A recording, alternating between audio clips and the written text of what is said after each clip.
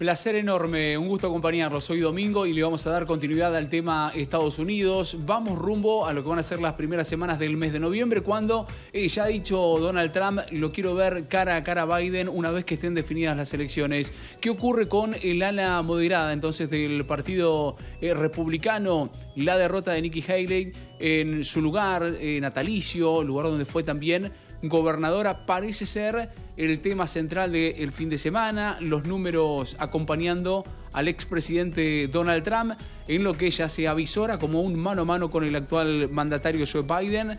Eh, digamos que la derrota de ayer fue especialmente dura para Haley, quien encarna eh, el ala moderada del Partido Republicano, ya que se produjo en su estado eh, y que además ha sido gobernadora durante seis años. Esto tampoco le ha alcanzado para superar los números de Donald Trump, a quien vemos en imágenes, un fin de semana también muy particular para quien fuera el presidente de los Estados Unidos, eh, muy revitalizado en este encuentro también con el mandatario argentino eh, Javier Milei, derrotando entonces a su rival republicano en las primarias del estado de Carolina del Sur y de esta manera se acerca un poco más al posible duelo como eh, contra Joe Biden, lo que van a ser las elecciones del próximo mes de noviembre. La derrota de ayer fue especialmente dura para Haley porque encarna eh, este sector moderado del Partido Republicano eh, y que se produjo en su lugar natal, el lugar entonces que la vio crecer también como política. Señal esto de que el expresidente ya no la considera como una amenaza,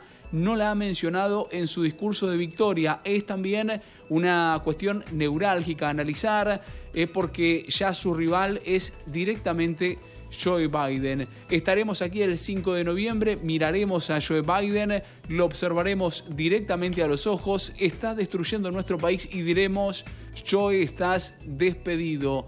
algo de lo que ha dejado Donald Trump y que vamos a ir recorriendo en la jornada de la tarde en Canal 26.